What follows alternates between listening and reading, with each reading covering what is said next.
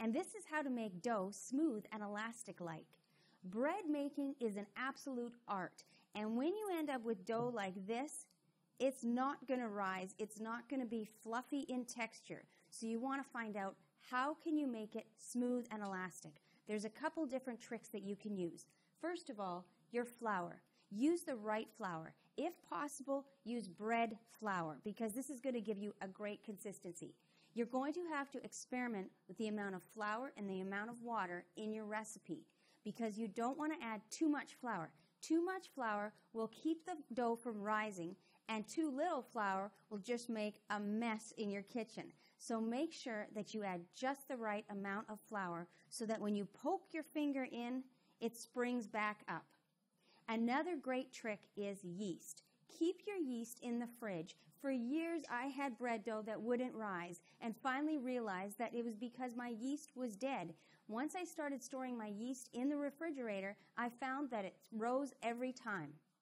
So, once you've mixed all of your dough, check to make sure that it, it is smooth and elastic.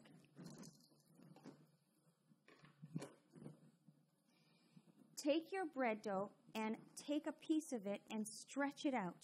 If it slowly starts to stretch out, it is ready to use. This is called the window pane trick. If it rips apart, it tears apart, then you need to add more water. But if it's too liquidy, that's when you add more flour. Make sure that you use it right away after it has risen. If you let it sit too long, you will get a hard coating on top. It's still usable, but you have to cut off the hard coating and then you might be able to use the dough underneath. But for perfect dough, use it right away. Make sure that it is elastic and pliable and ready to use.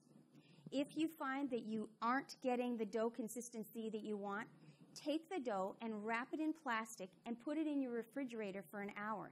Take it out, and often with the condensation and the temperature, you will have the perfect dough.